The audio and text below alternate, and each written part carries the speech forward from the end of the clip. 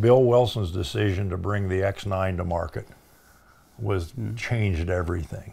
Most people don't realize in today's world to bring a new handgun to the market, you're probably going to commit, if you're lucky, somewhere between three to five million dollars.